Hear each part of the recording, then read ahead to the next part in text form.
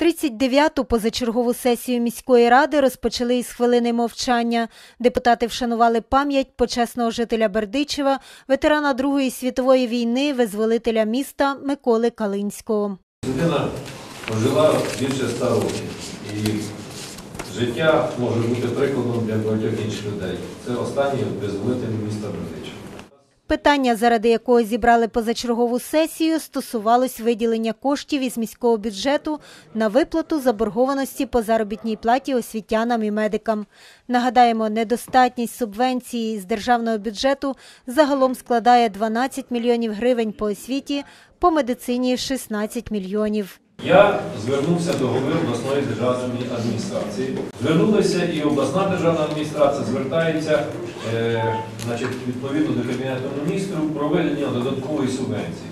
Але це питання поки не вирішується, то, тому винесли на розгляд таку пропозицію і е, два е, з половиною мільйона розподілити того вільного залишку, розподілити між цими двома галузями для того, хоча б частково закрити ті питання, які стали першочергово перед цими двома галузями.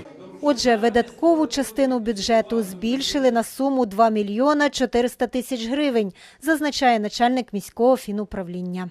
Перше, е, управління освіти і науки виконавчого комітету Бердичівської міської ради. Е, Код е, класифікації економічної це загальноосвітні школи. Сума загальна 1 мільйон гривень, в тому числі заробітна плата на покриття недостатності КЕК 2111 933 тисячі. Нарахування на заробітну плату теж на покриття недостатності КЕК 2120 67 тисяч гривень. Слідуюче, відділ охорони здоров'я виконавчого комітету Величівської міської ради, центральна міська лікарня. Оплата праці з нарахуваннями на покриття недостатності.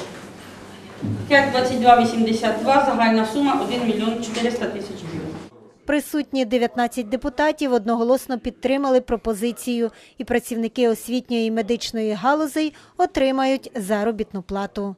Інше питання сесії міської ради стосувалось виділення матеріальної допомоги у сумі 50 тисяч гривень на лікування чотирьом бердичівлянам, серед яких мама загиблого учасника АТО. враховуючи надані медичні документації, враховуючи основний діагноз і необхідність довготривалому лікуванні в одному випадку, в інших випадках е, проведення оперативного втручання, рекомендуємо, пропонуємо виділити матеріальну допомогу в розмірі 50 тисяч гривень. Рішення депутатів і в цьому питанні було одностайним.